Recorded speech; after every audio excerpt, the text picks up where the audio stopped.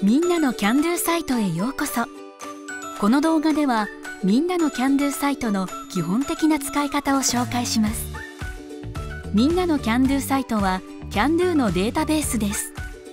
キャンドゥの検索保存編集などができます。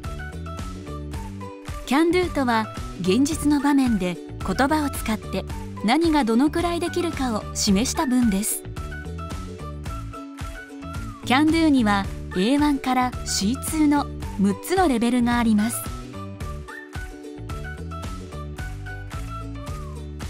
キャンドゥで授業の目標を立てると現実場面のコミュニケーションを目指した授業デザインができます。キャンドゥサイトで検索できるキャンドゥにはセフワールキャンドゥ JF キャンドゥ JF 生活日本語キャンドゥがあります。セフ R キャンドゥはコース全体の目標に。JF キャンドゥと JF 生活日本語キャンドゥは各授業の目標に向いています。それではキャンドゥサイトで実際にキャンドゥを探してみましょう。キャンドゥサイトのキャンドゥを探すをクリックするとキャンドゥの検索画面に移動します。はじめにキーワードで探すでの検索方法を紹介します。検索ボックスにキーワードを入力して検索をクリックします。検索結果画面にはキーワードを含む CANDO が表示されます。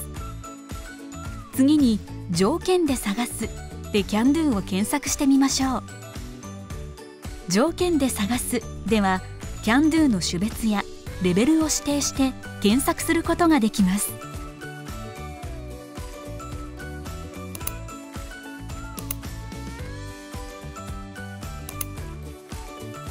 トピックを選ぶこともできます。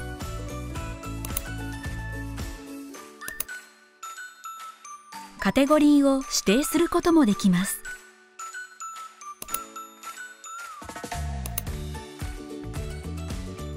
それではここで条件で探すを使った CANDO の検索例を紹介します。A1 を目標にするクラスで学習目標として使える CANDO を探してみます。トピックは旅行です。この授業では旅行先のホテルやお店での会話ができるようになることを目指します。授業の目標は JF CANDO と JF 生活日本語 CANDO から探すのがおすすめです。この2つにチェックします。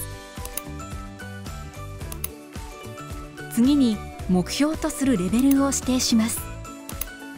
そしてトピックは旅行と交通にチェック。